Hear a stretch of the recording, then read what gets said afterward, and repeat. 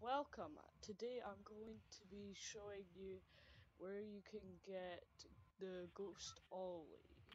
I, I went for Ghost Skye, so Ghost, I, I'm going to be doing the Ghost. So, first of all, you need to have completed all of the, what are they called, uh, challenges. Uh, well, not all of them, you need to complete. Uh,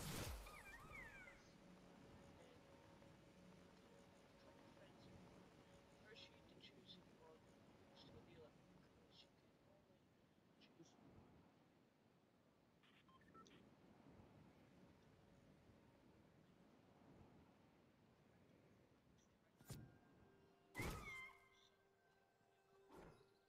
Uh, the big barn's there, and the ghost box is here.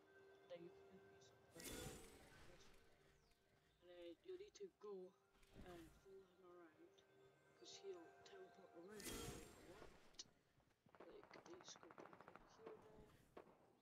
Once you get this, it'll also change your Ollie colours too, so that's pretty cool. He's hiding in here somewhere. Where you at? Where Ollie? And then bam. Now you got your colour. You have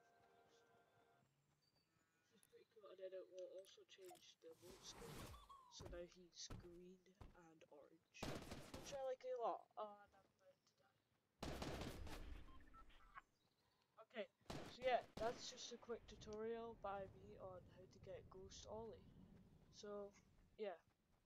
I'll catch you guys in the next one.